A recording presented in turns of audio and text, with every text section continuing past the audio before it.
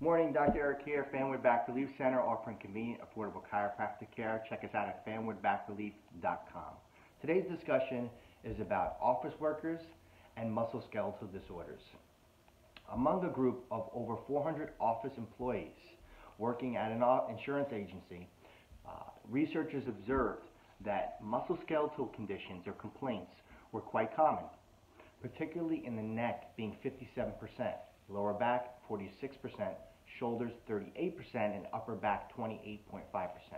Further analysis identified the following risk factors for work-related musculoskeletal pain.